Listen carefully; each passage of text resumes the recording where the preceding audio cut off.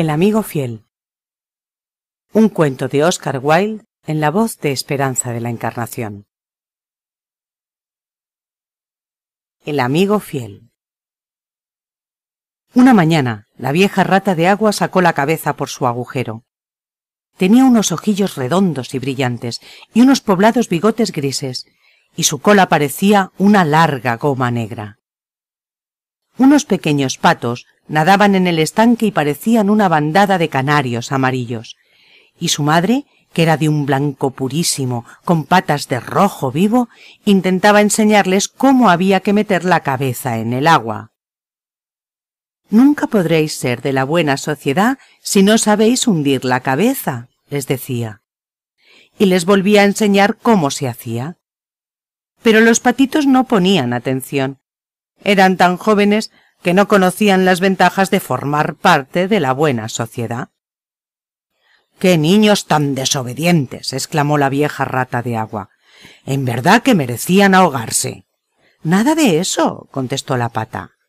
Todo tiene su principio y los padres tienen que ser pacientes. Ah, yo no sé nada de los sentimientos de los padres, dijo la rata de agua. No tengo familia. En resumen, nunca he estado casada ni he intentado estarlo. El amor está muy bien, pero la amistad es algo mucho más elevado. Realmente no sé que haya nada en el mundo más noble y más raro que una amistad fiel. Te ruego que me digas cuál es tu idea de los deberes de un amigo fiel, dijo un jilguero verde que estaba en un sauce y había escuchado la conversación. Sí, eso es precisamente lo que yo quiero saber, dijo la pata, y se dirigió al extremo del estanque, introduciendo la cabeza en el agua para dar buen ejemplo a sus hijos. ¡Qué pregunta más tonta! exclamó la rata de agua. Un amigo fiel es simplemente el que nos demuestra fidelidad, naturalmente. ¿Y qué le darías tú a cambio? preguntó el pajarillo balanceándose en una rama plateada y agitando las alas. No te entiendo, contestó la rata de agua. Permíteme que te cuente una historia sobre el tema, dijo el jilguero. ¿Es una historia referente a mí? preguntó la rata de agua. Si es así, la escucharé, porque me gustan mucho los cuentos. ¿Es aplicable a ti? contestó el jilguero. Y bajó volando del árbol, se posó a la orilla del estanque y contó la historia del amigo fiel. Érase una vez, dijo el jilguero, un hombre muy honrado llamado Hans. ¿Era una persona muy distinguida? preguntó la rata de agua. No, contestó el jilguero. No creo que se distinguiera por nada, excepto por su buen corazón y su cara redonda y alegre. Vivía en una pequeña casita, y todos los días trabajaba en su jardín. En toda aquella parte del país no había nadie con un jardín tan bello como el suyo. Allí crecían alelíes, claveles y rosas de Francia. Había rosas de Damasco, rosas amarillas, azafranes lilas y oro, y violetas blancas y purpúreas. Las mejoranas, belloritas, agavanzos, narcisos y claveros se sucedían según los meses, y una flor sustituía a otra, así que siempre había algo bello que mirar y algún agradable aroma que oler. El pequeño Hans tenía muchos amigos, pero el más fiel de todos era el obeso Hugo, el molinero. Realmente, tan fiel era el rico molinero con el pequeño Hans que nunca atravesaba su jardín sin inclinarse sobre las plantas y recoger un gran ramo de flores o verduras o llenar sus bolsillos de cerezas o ciruelas si era la época de la fruta. Los verdaderos amigos deben compartirlo todo, solía decir el molinero, y el pequeño Hans asentía sonriendo y se sentía muy orgulloso de tener un amigo con ideas tan nobles. Sin embargo, algunas veces los vecinos pensaban que era muy extraño que el rico molinero nunca le diera nada a cambio al pequeño Hans, aunque tenía cien sacos de harina almacenados en su molino, seis vacas lecheras y un gran rebaño de ovejas. Pero Hans nunca se preocupó de estas cosas. y nada le daba un placer tan grande como el escuchar todas las maravillosas palabras que el molinero acostumbraba decir sobre el desinterés de la amistad verdadera. Así pues, el pequeño Hans trabajaba en su jardín. Durante la primavera, el verano y el otoño era muy feliz.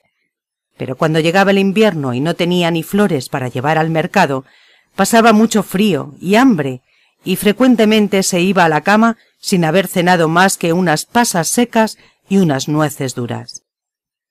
También en el invierno se encontraba solo, pues entonces el molinero nunca venía a verle. No está bien que vaya a ver al pequeño Hans mientras haya nieve, solía decir el molinero a su esposa, porque cuando la gente tiene alguna preocupación, les gusta estar solos y no tener visitas. Esa al menos es mi idea de la amistad, y estoy seguro de que tengo razón. Así que esperaré a que llegue la primavera y entonces le haré una visita y él me dará una gran cesta de belloritas y le haré muy feliz. Ciertamente eres muy atento con los demás, le contestaba su esposa, sentada al fuego en un gran sillón. En verdad que eres muy atento. Es muy agradable oírte hablar de la amistad. Estoy segura de que ni el sacerdote podría decir las cosas que dices tú, aunque viva en una casa de tres pisos y lleve un anillo de oro en el dedo meñique. Pero ¿no podríamos invitar al pequeño Hans a que viniera aquí? dijo el niño más joven del molinero. Si el pobre Hans está necesitado, yo le daré la mitad de mi comida y le enseñaré mis conejos blancos. Qué tonto eres, exclamó el molinero. Realmente no sé qué utilidad tiene el enviarte a la escuela. Parece que no aprendes nada. Si el pequeño Hans viniese aquí y viera nuestro fuego, nuestra buena comida y nuestra gran cuba de vino tinto, podría estar envidioso, y la envidia es la cosa más terrible y echa a perder el carácter de cualquiera. Y yo, desde luego, no permitiré que el carácter de Hans se eche a perder. Soy su mejor amigo y siempre velaré por él y procuraré que no caiga en ninguna tentación. Además, si Hans viene aquí, podría pedirme que le prestara un poco de harina, y eso no puedo hacerlo. La harina es una cosa y la amistad es otra, y ambas no deben confundirse. Las dos palabras se escriben diferente y significan cosas completamente diferentes. Todo el mundo sabe eso. Qué bien hablas, dijo la esposa del molinero sirviéndose un gran vaso de cerveza caliente. Estoy como inconsciente, como si estuviera en la iglesia. Mucha gente obra bien, contestó el molinero, pero muy pocos hablan bien, lo cual demuestra que hablar es mucho más difícil y más bello. Y miró severamente por encima de la mesa a su hijo, el cual se sintió tan avergonzado que bajó la cabeza, se puso colorado y comenzó a llorar encima de su taza de té. Realmente era tan joven que podía perdonársele. ¿Este es el final de la historia? preguntó la rata de agua. Desde luego que no, contestó el jilguero. Este es el principio. Entonces andas muy atrasado para esta época, dijo la rata de agua. Todos los buenos cuentistas de nuestros días empiezan por el final y después continúan por el principio y acaban por la mitad. Ese es el nuevo método. Lo oí el otro día de labios de un crítico que paseaba alrededor del estanque con un joven. Hablaba del asunto con gran conocimiento, y estoy segura de que debía de estar en lo cierto, porque llevaba gafas azules y era calvo, y cuando el joven le hacía alguna observación, siempre contestaba «Cha». Pero te ruego que sigas con tu historia. Me gusta mucho el molinero. Poseo toda clase de bellos sentimientos, así pues, tiene que existir entre ambos una gran simpatía. Bien, dijo el jilguero, saltando sobre una pata y después sobre la otra. Tan pronto como pasó el invierno y las belloritas comenzaron a abrir sus estrellas de color amarillo pálido, el molinero le dijo a su mujer que iba a ir a ver al pequeño Hans. ¡Qué buen corazón tienes! exclamó ella. Siempre estás pensando en los demás. Acuérdate de llevar la cesta grande para traer las flores. Así pues, el molinero ató las aspas del molino con una fuerte cadena de hierro y bajó por la colina con la cesta al brazo. Buenos días, pequeño Hans, dijo el molinero. Buenos días, dijo Hans, apoyándose en su azada y sonriendo de oreja a oreja. ¿Cómo te ha ido durante el invierno? dijo el molinero. Bien, muy bien, exclamó Hans. Es muy amable por tu parte el preguntármelo. Muy amable, en verdad. Me temo que he tenido que pasar días duros, pero ahora ha llegado la primavera y soy completamente feliz, y todas mis flores están espléndidas. Muchas veces hablamos de ti durante el invierno, Hans, dijo el molinero, y nos preguntábamos qué tal estarías. Eres muy amable, dijo Hans. Siempre temí que me hubieras olvidado. Hans, eso me sorprende, dijo el molinero. La amistad nunca se olvida. Eso es lo más maravilloso de ella. Pero me temo que tú no entiendes la poesía de la vida. ¡Qué bellas son tus belloritas! Ciertamente son muy bellas, dijo Hans, y tengo mucha suerte al poseer tantas. Voy a llevarlas al mercado y se las venderé a la hija del burgomaestre, y así podré volver a comprar con ese dinero mi carretilla. ¿Volver a comprar tu carretilla? ¿Quieres decir que la has vendido? ¡Qué estupidez! Bueno, el hecho es, dijo Hans, que me vi obligado a hacerlo. Ya sabes que el invierno es muy malo para mí y que no tengo dinero para comprar pan. Así pues, primero vendí los botones de plata de mi traje de los domingos, después vendí mi cadena de plata, después mi gran flauta y por último la carretilla. Pero ahora voy a comprarlo todo de nuevo. Hans, dijo el molinero, yo te daré mi carretilla. No está en muy buen uso, en realidad. Le falta un lado y tiene estropeados algunos radios, pero a pesar de eso te la daré. Sé que soy muy generoso y mucha gente pensará que hago una tontería, pero yo no soy como el resto del mundo. Creo que la generosidad es la esencia de la amistad y además tengo una carretilla nueva. Sí, no tienes que preocuparte, te daré mi carretilla. Realmente eres muy generoso, dijo el pequeño Hans, y su rostro alegre y redondo se puso reluciente de placer. Puedo repararla fácilmente porque tengo en casa una tabla. Una tabla, dijo el molinero. Eso es justamente lo que yo quiero para el techo de mi granero. Hay un agujero muy grande y el grano se mojará si no lo tapo. Qué suerte que la mencionaras. Desde luego, una buena acción siempre hace nacer otra. Yo te he dado mi carretilla y ahora tú me darás tu tabla. Naturalmente la carretilla vale más que la tabla, pero la verdadera amistad nunca tiene en cuenta estas cosas. Te ruego que me la des ahora, pues me pondré a trabajar en mi granero hoy mismo. Desde luego, exclamó el pequeño Hans, y se metió corriendo en su casa, sacando al momento la tabla. No es muy grande, dijo el molinero mirándola, y me temo que después que yo haya arreglado el techo de mi granero, tú no tendrás con qué arreglar la carretilla. Pero desde luego eso no es culpa mía. Y ahora, como te he dado mi carretilla, estoy seguro de que querrás darme a cambio algunas flores. Aquí está la cesta. Espero que la llenes del todo. ¿Llenarla del todo? Dijo el pequeño Hans tristemente porque era en verdad una cesta muy grande, y él sabía que si la llenaba se quedaría sin flores para llevar al mercado, y estaba ansioso por recuperar sus botones de plata.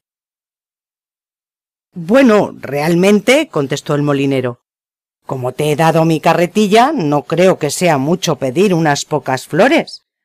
Puede ser que me equivoque, pero creo que la amistad, la verdadera amistad, está libre de todo egoísmo mi querido amigo. Mi mejor amigo. exclamó el pequeño Hans. Todas las flores de mi jardín son tuyas. Me importa mucho más que tengas buena opinión de mí que volver a tener mis botones de plata. Y corrió a coger todas sus belloritas y llenó la cesta del molinero. Adiós, pequeño Hans, dijo el molinero. Y se marchó colina arriba con la tabla al hombro y la gran cesta al brazo. Adiós, dijo el pequeño Hans. Y empezó a cavar alegremente, pues estaba muy contento de volver a tener carretilla. Al día siguiente estaba sujetando unas enredaderas sobre el porche cuando oyó la voz del molinero que le llamaba desde la carretera. Saltó de la escalera, atravesó el jardín y miró por encima del muro. Allí estaba el molinero con un gran saco de harina a la espalda. Querido Hans, dijo el molinero, ¿te importaría llevarme este saco de harina al mercado? Oh, lo siento, dijo Hans, pero estoy muy ocupado hoy. Tengo que sujetar todas las enredaderas, regar todas mis flores y segar el césped. Bueno, dijo el molinero, creo que considerando que voy a darte mi carretilla, no es de buen amigo el negarte. Oh, yo no he dicho eso, exclamó el pequeño Hans. No me negaría por nada del mundo. Y corrió a coger su gorro y salió con el saco al hombro. Era un día caluroso y la carretera estaba llena de polvo. Y antes que Hans hubiera recorrido seis millas, estaba tan fatigado que se sentó a descansar. Sin embargo, continuó su camino con muchas energías, hasta que por fin llegó al mercado. Después de estar allí algún tiempo, vendió el saco de harina por un buen precio y volvió a casa inmediatamente, porque temía que si se entretenía demasiado podría encontrarse con ladrones en el camino. Ciertamente ha sido un día duro, se dijo el pequeño Hans cuando se metía en la cama, pero estoy contento de no haberme negado a hacer el encargo del molinero, porque es mi mejor amigo, y además va a darme su carretilla. Por la mañana temprano el molinero volvió a por el dinero del saco de harina, pero el pequeño Hans estaba tan cansado que aún se encontraba en la cama. ¡Qué perezoso eres! dijo el molinero. Realmente, considerando que voy a darte mi carretilla, creo que deberías trabajar más. La pereza es un gran pecado y no me gusta que ninguno de mis amigos sea vago o perezoso. Te hablo sin ningún rodeo. Desde luego, ni soñaría en hacerlo si no fuera tu amigo.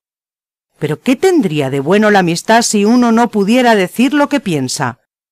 Cualquiera puede decir cosas encantadoras e intentar hacerse agradable y hacer halagos, pero un verdadero amigo siempre dice cosas desagradables y no le preocupa causar dolor.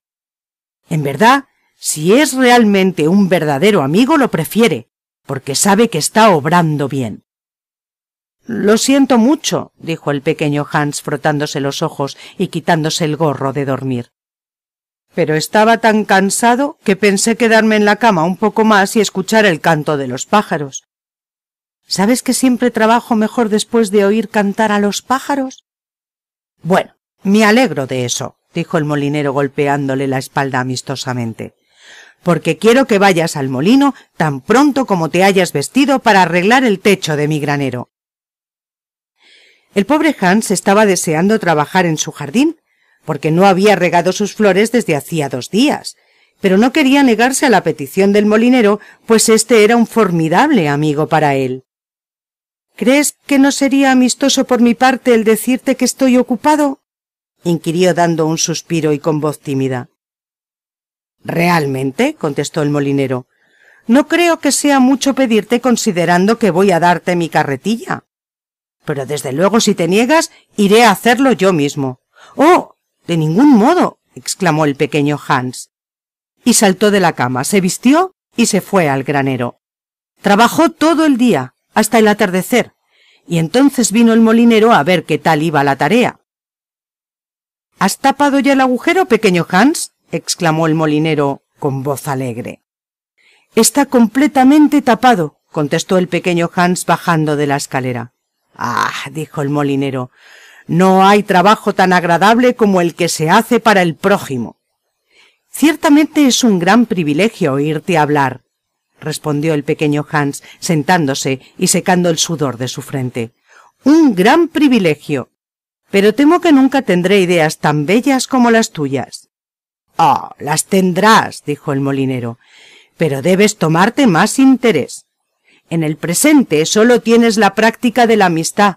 Algún día tendrás también la teoría. ¿Crees eso realmente? preguntó el pequeño Hans. No me cabe duda, contestó el molinero. Pero ahora que has arreglado el tejado, lo mejor es que te vayas a casa a descansar, porque mañana deseo que lleves mi rebaño a la montaña. El pobre Hans no osó poner ninguna objeción a esto, y por la mañana temprano el molinero trajo su rebaño hasta su casa, y Hans se marchó con las ovejas a la montaña. Entre ir y volver se le fue todo el día, y cuando regresó estaba tan cansado que se durmió en su silla y no se despertó hasta bien avanzada la mañana. Qué delicioso tiempo tendré en mi jardín, dijo, y salió a trabajar al momento. Pero nunca pudo volver a cuidar sus flores, porque su amigo el molinero venía siempre para enviarle a un largo recado o para llevarle con él a trabajar al molino, el pequeño Hans a veces estaba muy preocupado, pues temía que sus flores pensaran que las había olvidado, pero se consolaba diciendo que el molinero era su mejor amigo. Además, solía decir, va a darme su carretilla, y ese es un acto de pura generosidad. Y el pequeño Hans trabajó para el molinero, y éste le dijo toda clase de cosas bellas acerca de la amistad, las cuales Hans anotó en un cuaderno y leyó por las noches, porque era muy buen discípulo. Ahora bien, una noche que Hans estaba sentado junto al fuego, oyó que llamaban muy fuerte en su puerta. Era una noche de perros, y el viento soplaba alrededor de la casa tan terriblemente que al principio creyó que el ruido era de la tormenta. Pero se oyó un segundo golpe y después un tercero más fuerte que los otros. Será algún pobre viajero, dijo el pequeño Hans para sí, y corrió hacia la puerta. Allí estaba el molinero, con una linterna en una mano y un gran bastón en la otra. Querido Hans, exclamó el molinero, tengo un gran problema. Mi hijito se ha caído de una escalera y se ha herido. Voy a buscar al doctor, pero vive tan lejos y hace tan mala noche que se me ha ocurrido que sería mucho mejor que fueses tú en mi lugar ya sabes que voy a darte mi carretilla y es justo que tú me des algo a cambio. Ciertamente, exclamó el pequeño Hans, me gusta poder ayudarte y saldré inmediatamente. Pero debes dejarme tu linterna, pues la noche es tan oscura que tengo miedo de caer en un precipicio. Lo siento mucho, contestó el molinero, pero es mi linterna nueva y sería para mí una gran pérdida si le ocurriera algo. Bueno, no importa, iré sin ella, exclamó el pequeño Hans cogió su abrigo de pieles, su gorra escarlata, se envolvió el cuello con una bufanda y salió. ¡Qué tormenta tan horrorosa había! La noche era tan negra que el pequeño Hans casi no podía ver, y el viento era tan fuerte que casi no podía andar. Sin embargo, era muy animoso, y después de andar tres horas llegó a casa del doctor y llamó a la puerta. ¿Quién es? exclamó el doctor, asomando la cabeza por la ventana del dormitorio. El pequeño Hans, doctor. ¿Qué quieres, pequeño Hans? El hijo del molinero se ha caído de una escalera y se ha herido, y el molinero quiere que vaya usted inmediatamente. Muy bien, dijo el doctor. Cogió sus grandes botas y su linterna, bajó la escalera, montó en su caballo y galopó en dirección a la casa del molinero con el pequeño Hans caminando tras él trabajosamente. Pero la tormenta iba creciendo cada vez más y la lluvia caía a torrentes y el pequeño Hans no podía ver por dónde iba ni podía seguir al caballo. Por fin se perdió y anduvo por el pantano, que era un lugar muy peligroso, pues estaba lleno de profundos agujeros, y el pobre Hans cayó en uno de ellos. Su cuerpo lo encontraron al día siguiente unos pastores, flotando en un gran charco de agua, y lo llevaron a su casa. Todos fueron al funeral del pequeño Hans, pues era muy popular y el molinero presidió el duelo. Como yo era su mejor amigo, dijo el molinero, es lógico que ocupe este puesto. Y caminó a la cabeza de la procesión con una gran capa negra, limpiándose los ojos de cuando en cuando con un gran pañuelo. El pequeño Hans ha sido ciertamente una gran pérdida para todos, dijo el herrero cuando terminó el funeral y todos se sentaron confortablemente en la fonda a beber vino aromático y a comer pasteles dulces. Una gran pérdida para mí, contestó el molinero, porque iba a darle mi carretilla, y ahora realmente no sé qué hacer con ella. Está en tan mal estado que no podría conseguir nada si la vendiera. Ya no volveré a dar nada. En verdad uno sufre por ser generoso. ¿Y bien? dijo la rata de agua después de una larga pausa. ¿Ese es el final? dijo el jilguero. ¿Pero qué fue del molinero? preguntó la rata de agua. Oh, realmente no lo sé, replicó el jilguero. Y tampoco me preocupa. Es evidente que no tienes un carácter simpático, dijo la rata de agua. Temo que no hayas comprendido la moraleja de la historia, dijo el jilguero. ¿La qué? exclamó la rata de agua. La moraleja.